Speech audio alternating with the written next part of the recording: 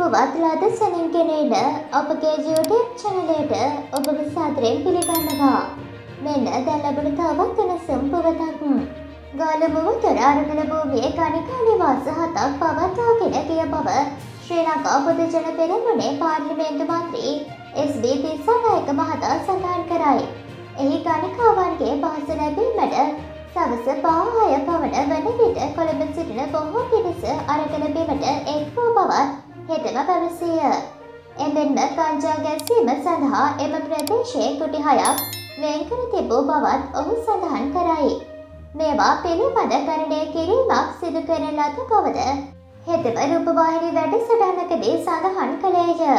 මෙන්න එම පුවත නැවතත්. ගලු වූ තොර අරගල භූමියේ කනිකා නිවාස හතක් පවත්වාගෙන ගිය බව ශ්‍රී ලංකා පොදුජන පෙරමුණේ පාර්ලිමේන්තු මන්ත්‍රී SB දිසානායක මහතා සඳහන් කරයි. එහි ගණිකාවන්ගේ පහස ලැබීමට සවස පහහය පමණ වන විට කොළඹ සිටින බොහෝ පිරිස් අරගලබීමට එක් වූ බවත් හෙටම පැවසිය.